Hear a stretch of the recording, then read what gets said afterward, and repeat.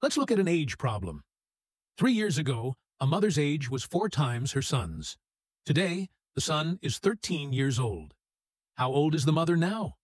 Many students see four times and quickly do 13 times four and fall into the trap.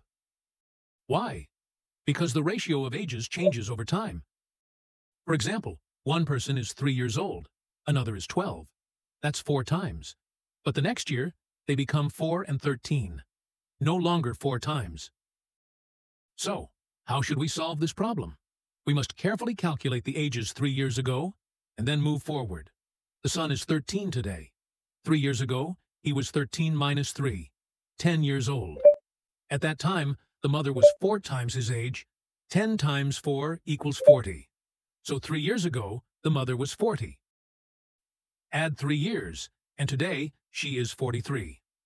The key idea behind this problem, the multiple relationship between ages changes over time, but the difference in ages always stays the same.